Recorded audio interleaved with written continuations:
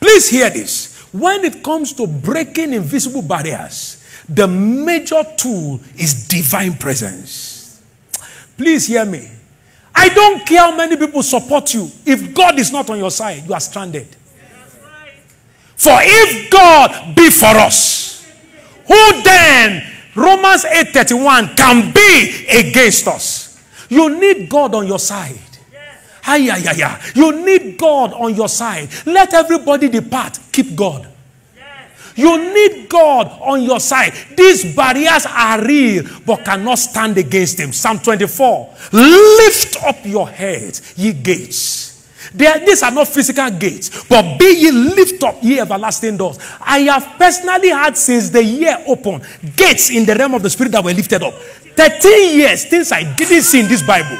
I've been, I mean, please hear this. There are gates. Once they are lifted up, what happens? You gain access. Why are the barriers there? To hinder your access. But in the authority of the name that is above every other name, the God who has lifted up my gates in a very unique manner, I decree all invisible barriers hindering anyone, they are all lifted up in the name of Jesus. I've gone to Bible school, I didn't see what I've seen.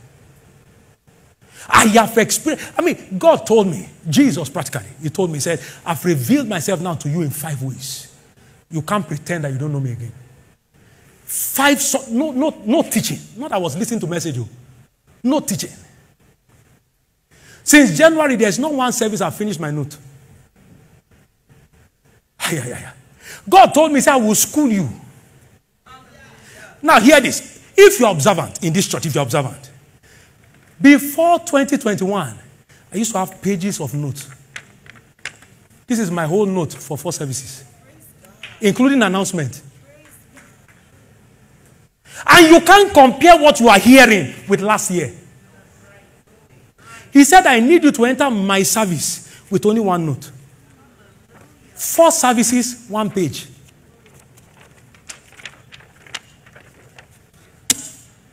Nothing hidden. Please wake up. I pray again. Every invisible barrier hindering you at the same spot, those barriers